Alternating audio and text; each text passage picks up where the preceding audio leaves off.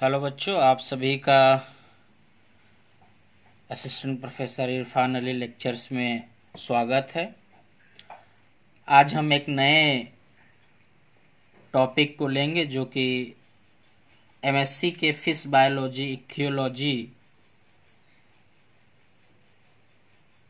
से रिलेटेड है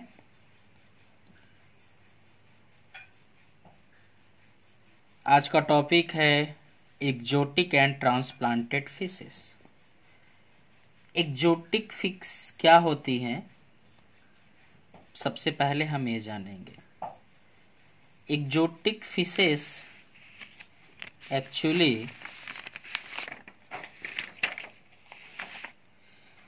actually are a species of fishes imported and introduced into a country from another country for the purpose of culture are called exotic species.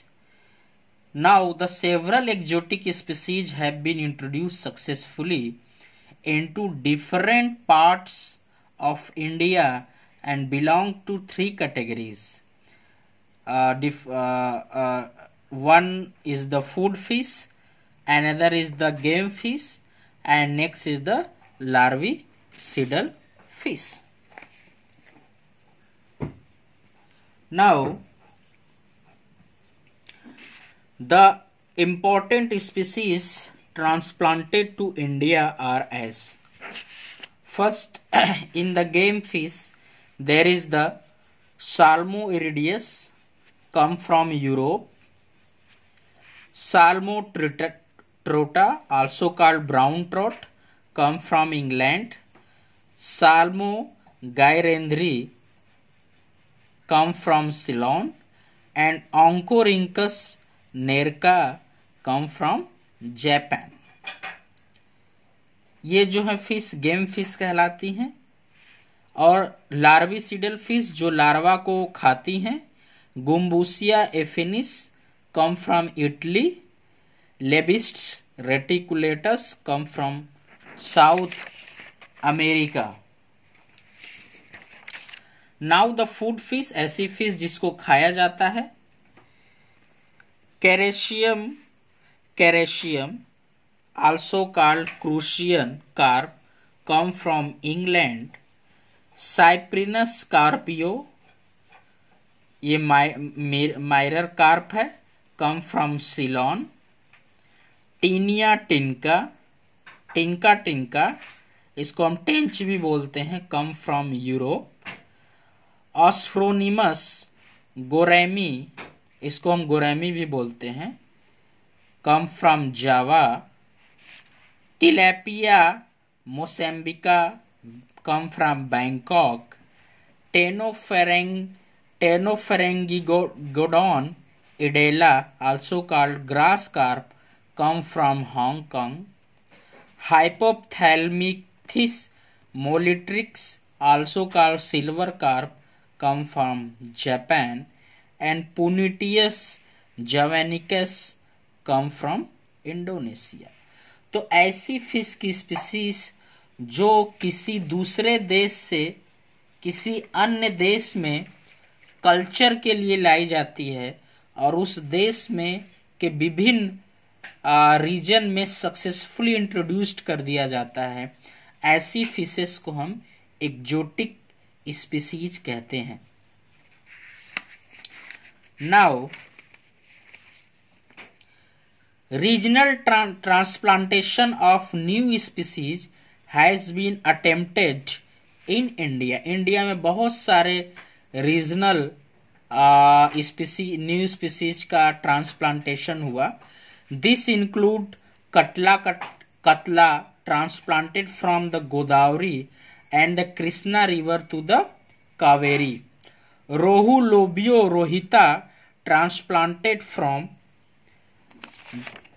transplanted from Bengal to Madras and some species like fingerlings, mungil, cephalus, milkfish, chanoz chanoz also transplanted.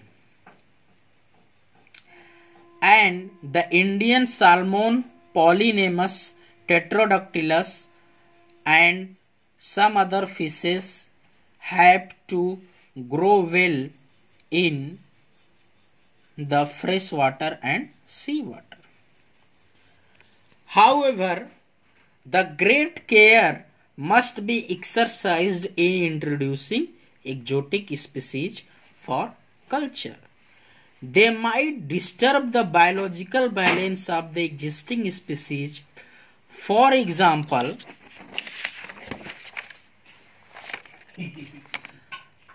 for example, introduce introduction of tilapia into carp culture area in India adversely affected the survival of mrigal When the two species are stocked together, hence a delayed detailed study must be made regarding the overall suitability of the exotic species. Before they are introduced into an area, a brief account of the important exotic species is given below. The important हम आप important exotic species के बारे में पढ़ेंगे पहला important exotic species है trout there are main species of Salmo introduced in India ये एक इंपॉर्टेंट गेम फिश है जिसको इंडिया में इंट्रोड्यूस्ड किया गया और ये हैं Salmo gairdneri rainbow trout Salmo Trota Favrio, Brown Trot, Trot, Tron Trot and Oncorhynchus nerca. Oncorhynchus nerca, a hybrid species. So the trots are first successfully transplanted in the Nilgiri in 1960. At present, there are six trot reservoir in the Nilgiri so the trot have been introduced into the Kodaikanal Lake of Tamil Nadu in 1965 by the Madras Fisheries Madras Fisheries Department. Now the brown trot was introduced into Kashmir in 901 by the Maharaja and is flourishing in several snow-fed stream in 909, 10,000 eggs of salmon were introduced into Kashmir Kashmir में 10,000 salmon की fish को introduce किया गया है इसके अलावा brown और rainbow trout और जो अलग दूसरी तरह की स्पीसीज हैं जैसे ब्रूक ट्रॉट को भी कश्मीर में इंट्रोड्यूस्ड किया गया in 900 uh, 19 1919 about 5000 ova of the rainbow trout were transplanted from Kashmir to Kulu water of Himachal Pradesh. Ova and fingerlings of trout were introduced in Bhowali, Nainital, Naukuchia Tal and Sattal of Kumayu. but did not prove to be a success. At present, there are several important trout hatcheries in India at Avalanche in the Nilgiri, at Rajamali in Kerala, at Achebal, Laribal and Harwan in Kashmir and at Kulu and Berot in Himachal Pradesh. Next हम species की तरफ move करते हैं next species है Carassius Carassius.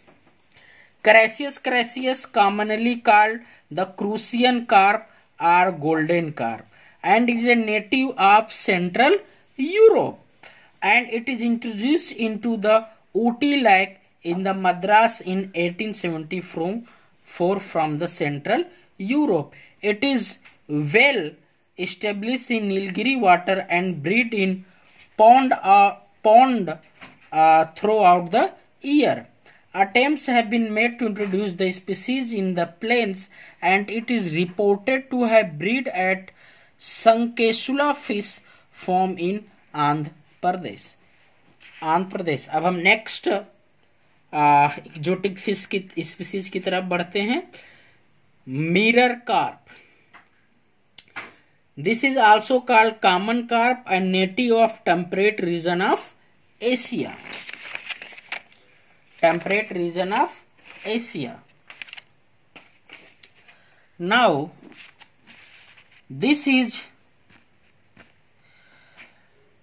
extensively cultivated and first introduce into the Nilgiri in nineteen thirty nine from Ceylon now well established in ये अब well establish हो गई है हिमाचल प्रदेश पंजाब जम्मू एंड कश्मीर मध्य प्रदेश राजस्थान दिल्ली बिहार मणिपुर और सिक्किम में and is is extensively cultivated in different parts of the world There are three varieties of this fish इसकी तीन variety होती हैं साइप्रिनस कार्पियो स्केल कार्प जिसको बोलते हैं साइप्रिनस कार्पियो वार स्पेकुलेरिस जिसको हम माइरर कार्प बोलते हैं साइप्रिनस कार्पियो वार न्यूडूस जिसको हम लेदर कार बोलते हैं the mirror carp was first introduced in the Nilgiri is 1939 from the Ceylon stocked in the Ootacamund lake later it was carried to Bangalore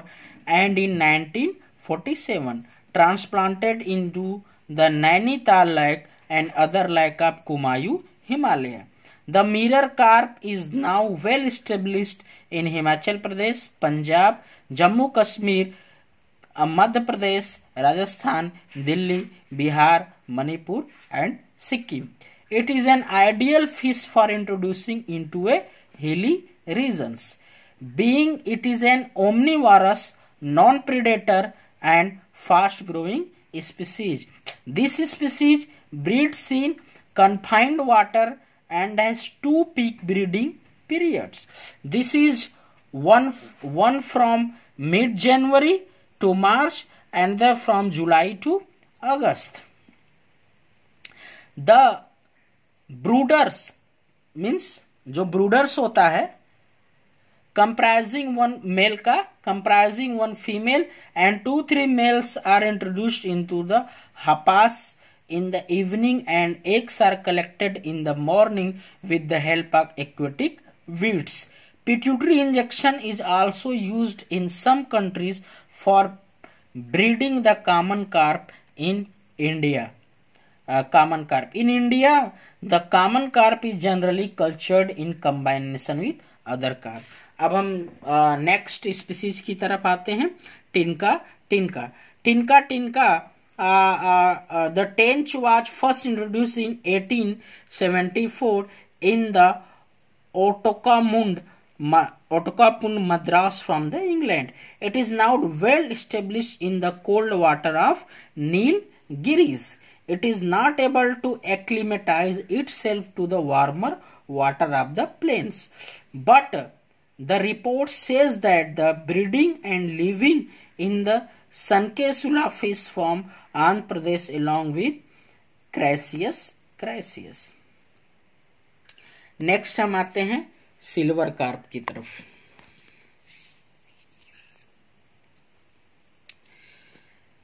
silver carp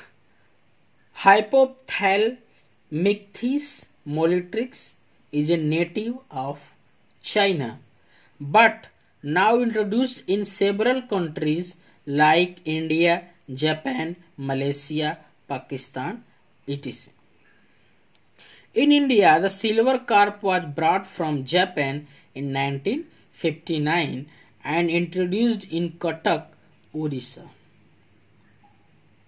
Later, the fish later the fish was brought from Japan in 1959 and uh, it, fish has been transplanted in various states all over the country. It feeds on phytoplankton and thrives on rice, bran and flour. The species naturally breed in river, rivers in China and Japan, but in India, silver carp was bred in pond by hypophagization in 1962. Later, Chaudhary was also successfully breeding grass and silver carp by pituitary injection in 1966. The technique adopted is almost the same as for other Indian major carp. Silver carp grows very fast and attained a weight of 2 to 5 kg in Kulgari reservoir in Madhya Pradesh. It is cultured in combination with Katla Katla in ponds and has shown faster growth rate than the Indian carp. The maximum yield was obtained when silver carp and Katla was stocked in the ratio of 2 into 1. Next हम species की तरफ आते हैं grass carp grass carp also called white amur in Russia and it is naturally in of China and USSR. This species was brought in India in 1959 from Hong Kong and introduced in the pond of Central Inland Fisheries Research Station CFR, Cuttack, Orissa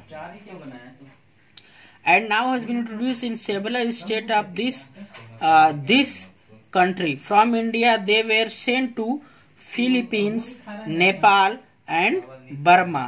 Both the grass carp and silver carp are able to tolerate slightly brackish water. The, the fry of grass carp feed on dew and phytoplankton. But the adult is a herbivorous fish Male fish matures when 2 years old and the female when, when it is 3 years old. But offspring obtain a result of hypophygation in India matured within 2 years in pond at Cuttack. It, its growth is rapid depending upon the availability of suitable weeds. According to Elikuni and Sekumeran 1964, uh, four, uh, grass carp attained a weight of 4.5 to 7 kg when 3 year old in ponds at Cuttack. Now next species की तरफ बढ़ते हैं tilapia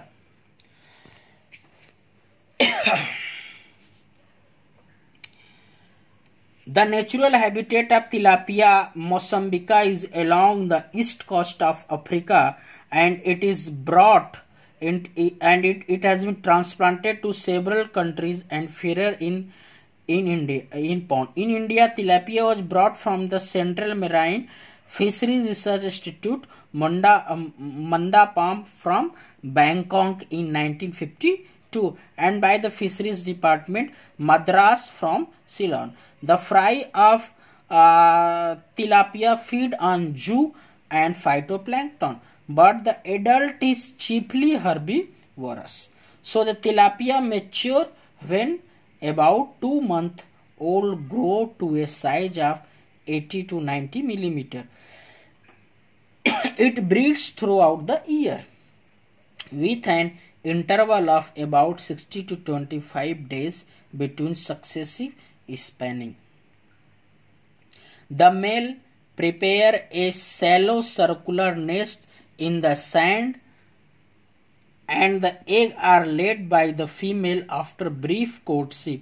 The eggs are fertilized by the male and soon the female picks up the egg in her mouth. Thus exhibiting buccal incubation hatching takes place in 3 to 4 days and 8.8 millimeter fry are liberated from the mouth से 8 millimeter of fry यानी बच्चा निकलता है it can tolerate wide range of salinity and is therefore recommended for culture in coastal lagoons fast it is a fast growing hardy fish but not survive at temperature lower than 10°C. So it is also successfully cultured in rice field. Tilapia also serves well as a forage fish, and when cultured with Channa strainers status in ponds, the yield is considerably increased, and it is utilized as food by the murals. Next species hai gourami. Gromi Os Osphronemus Gromi was first brought to Tamil Nadu from Mauritius and Java in 1865 but was successfully established in 1960. The fish naturally breed in pond and streams but not survive below 15 degree centigrade. The fry feed insect larvae, crustacean but the adult is a herbivores जो बच्चा है वो insect larvae को खाता है crustacean को खाता है लेकिन जो एडल्ट है वो हर्बीवर्स होता है gourami builds nest from grasses gourami builds nest from grasses and weeds both the sexes take part in building nest about ten days days. Is is oval in shape with a circular mouth of about ten centimetre The female lays egg in batches which are fertilized by the male, after which both the parents stand guard over the nest. In India, gourami are cultured in pond which are provided with marginal plants to help in nest building. It is considered as an excellent food fish and has a flesh of good flavor. It is therefore a popular fish for fish culture in Madras but has a slow growth rate it has now be introduced in Bombay Bengal Orissa and few other state हम यहां देखेंगे four species species number one species number two species number three species number four and and species number 5